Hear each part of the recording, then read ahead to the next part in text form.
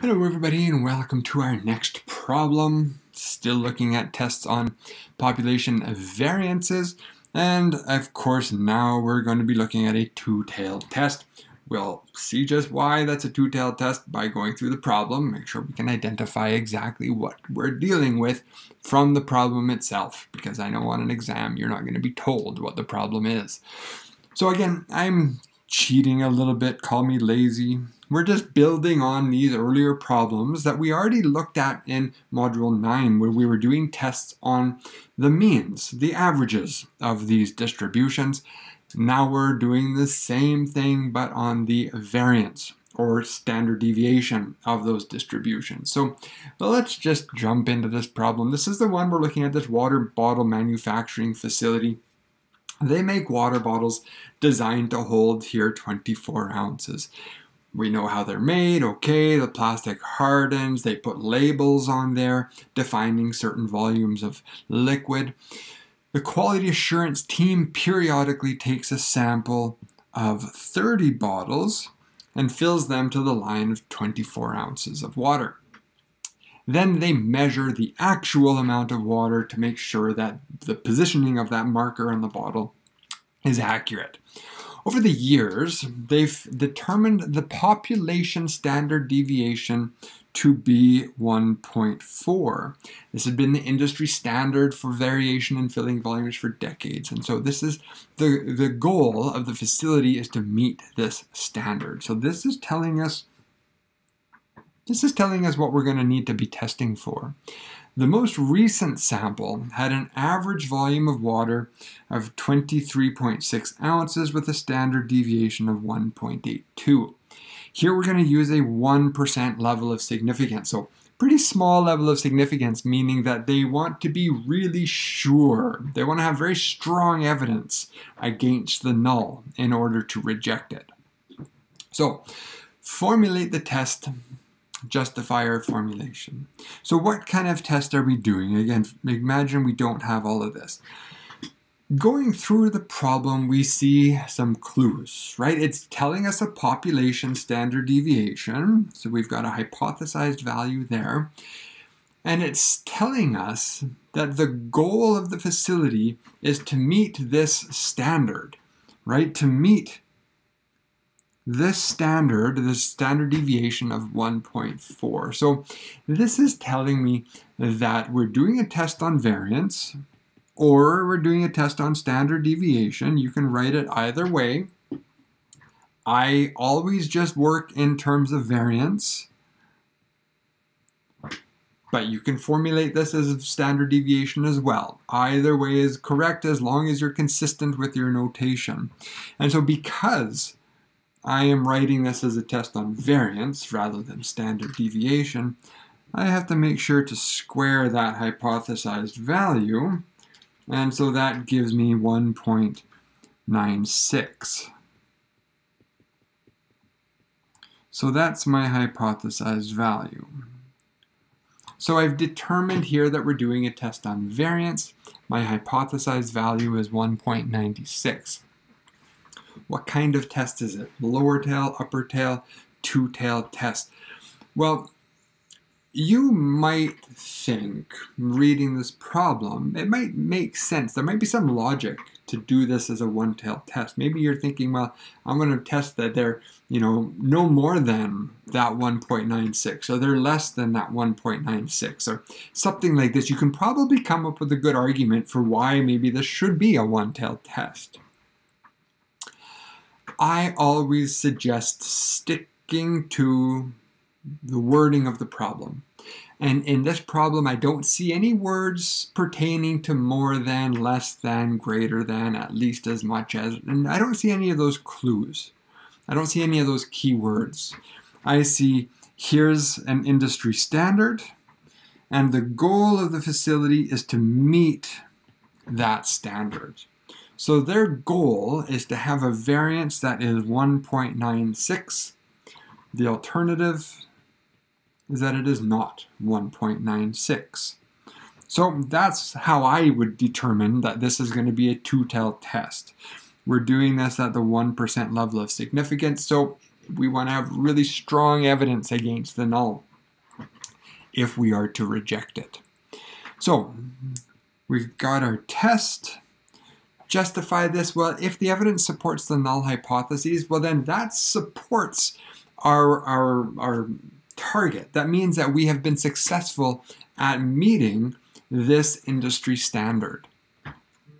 If the evidence supports the alternative hypotheses, well, now that's indicative that we have a problem. We have not met this industry standard in terms of the variance of our filling volumes of these water bottles that we've manufactured. So if the evidence supports the null, we've achieved that standard. If the evidence supports the alternative, we have not achieved that standard.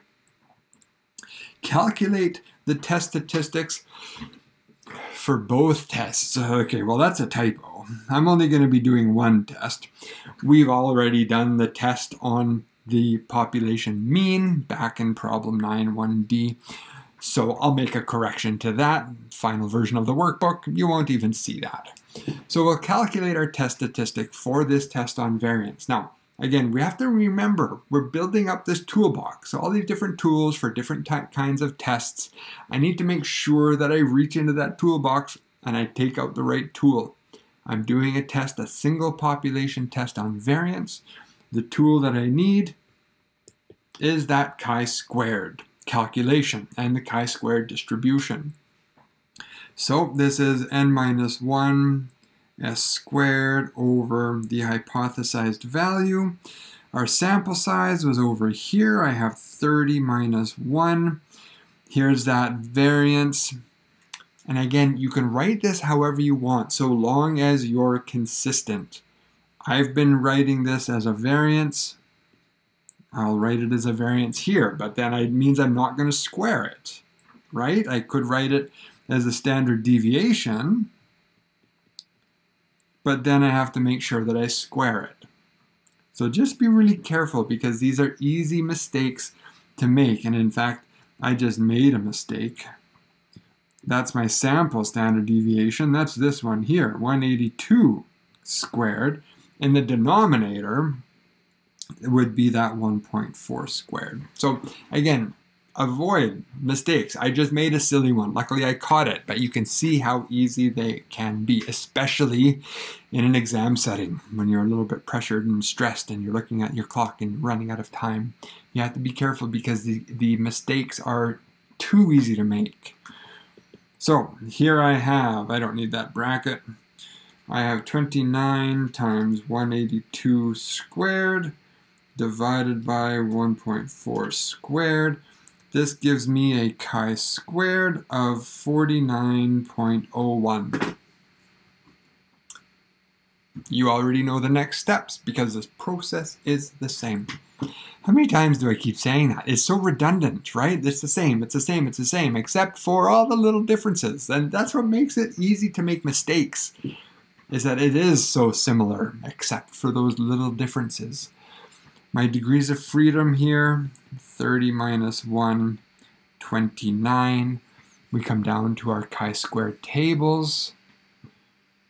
I have, let's see, 29 degrees of freedom here. My test statistic was 49, so I come across and I see it's between these two values. It is closer to the upper one. I don't really care about its proximity to either.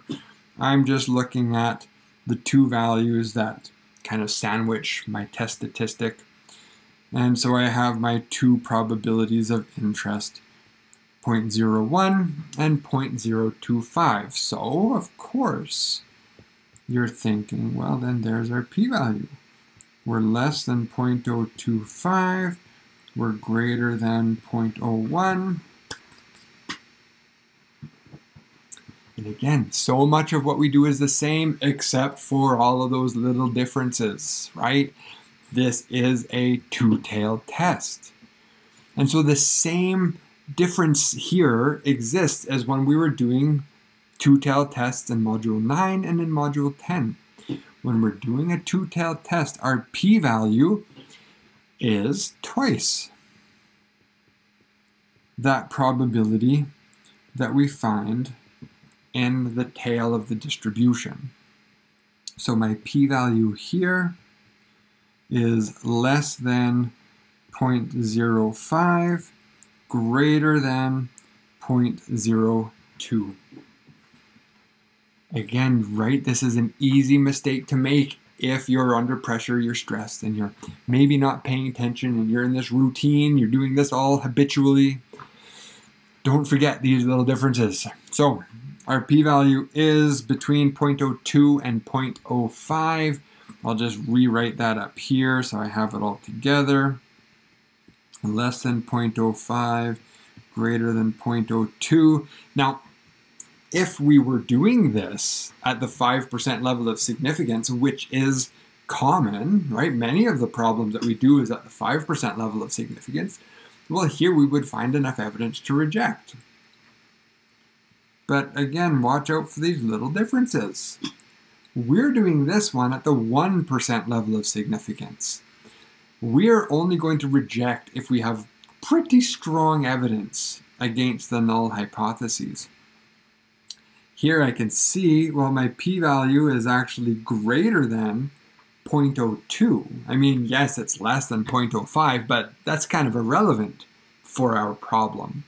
For us, I can see that it's greater than 0.02, which means it is greater than our level of significance. So our p-value is pointing us to a do not reject. Let's look at our critical value.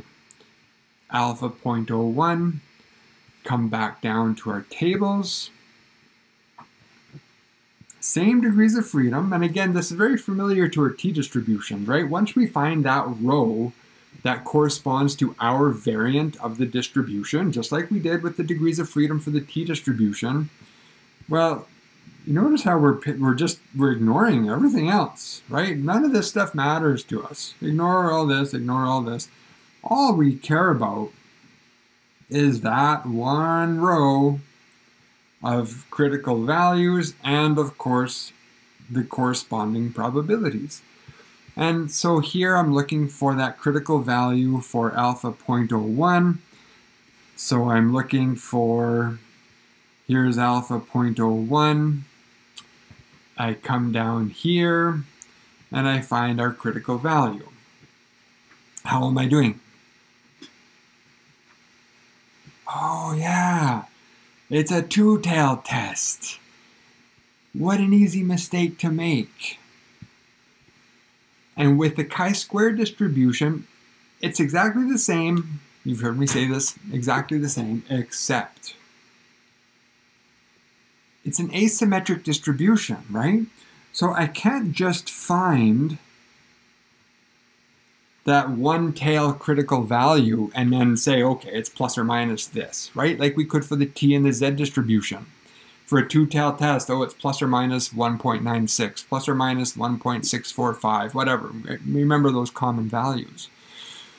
Well, the chi-square distribution, it's asymmetric, all positive values. So what I want are the upper and lower tail values.